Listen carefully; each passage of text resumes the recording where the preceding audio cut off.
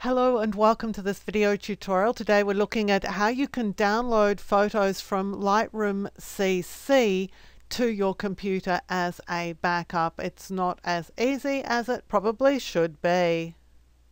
So if you determine that you want to download your photos from the Lightroom CC application, you won't be able to do that in bulk without the Adobe Lightroom Downloader app. So you'll go to the Adobe website and I've given you the link below. And once you get there you need to click to download the downloader. But you will need to make sure that you're using a supported operating system which is Windows 10 or if you're using a Mac it's OS X 10.13 or later. And so my machines don't all run Windows 10 I've had to find a machine that actually does run Windows 10 to be able to download this and use it call that inconvenient? Well, I do too. So let me go ahead and download this. So I just paused the video while that was downloading because it took nearly 20 minutes on my machine. I have a slow internet, but it's a huge file.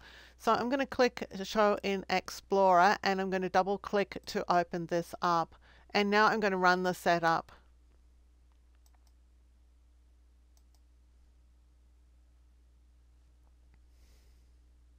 So I'm going to disable the help information. I'm going to click begin. At this point, I'm going to need to sign in.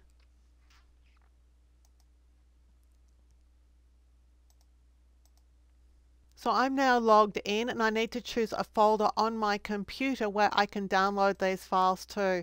So I'm going to just put them in my documents, but I am going to create a new folder for them. And I'll click to start the download. Now I'm going to let this run until it is complete.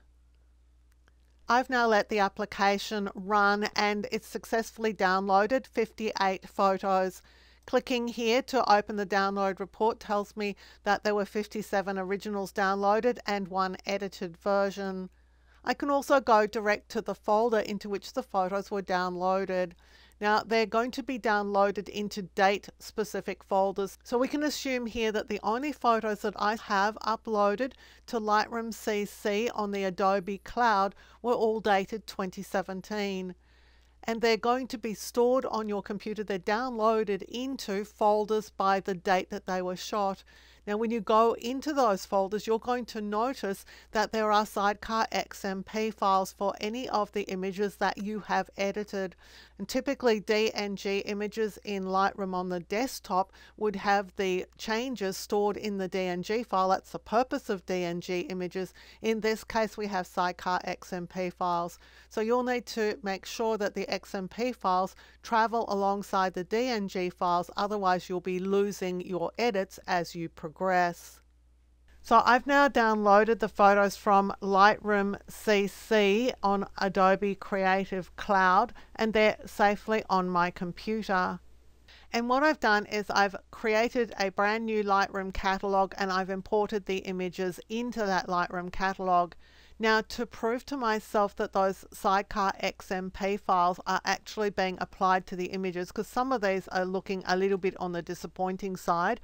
They're not looking as good in Lightroom on my PC as they were on the phone. Just going to select one of these photos and I'm in the develop module and if I click reset we'll go back to what it looked like in camera and so obviously the XMP files are being read so I'm just going to press control C to undo that and just apply those changes to the image. And you can see here that there are changes to the image. There's changes to the sharpening here that was applied in Lightroom CC I hope that this video has been of help to you in understanding how you can download the photos that you have stored on Lightroom CC in the cloud and do that as a backup. If you did enjoy the video, please give it a thumbs up, click the subscribe button and hit the notification bell and you'll be alerted when new videos are released.